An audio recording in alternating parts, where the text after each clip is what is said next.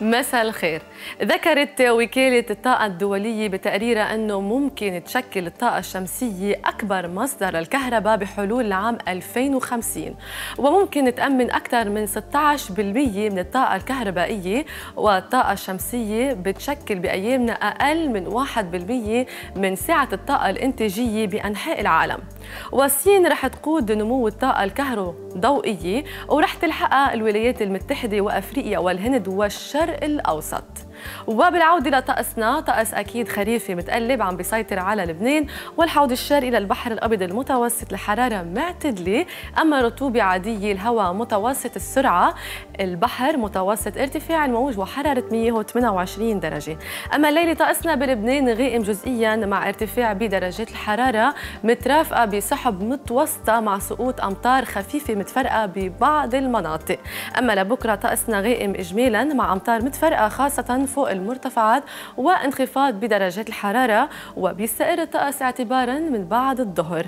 وهلا بنبقى بجولة على درجات الحرارة اللي رح تسجل الليلة على الساحل. إذا عم بتسجل 19 وبالبقاع عم بتسجل 12 وعلى المرتفعات 15 و7 بالأرز. أما كيف رح تكون درجات الحرارة اللي رح تسجل لبكرة ببعض المناطق. اللبنانية. وبنبدا من عكار بينه 18 الرحبة 18 المدفون 30 درجة الدورة 30 وعلمان 29 وصور 28 درجة. النباتية 24 بيت الدين 28 تعنيل 24 درجة وبعلبك 24 والهرول 31 درجة.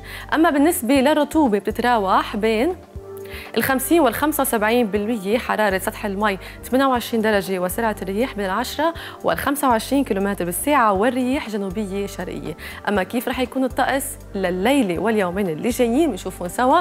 إذا الليلة بتوصل لل 19 وبكرة بين ال 20 و 30 درجة وأيضا نهار الجمعة بين ال 20 و 30 درجة والطقس مكمل إلى مشمس وغائم جزئيا.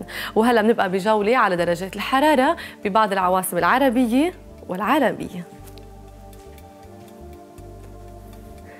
فإذا الكويت 40 وبغداد 37 وتونس 32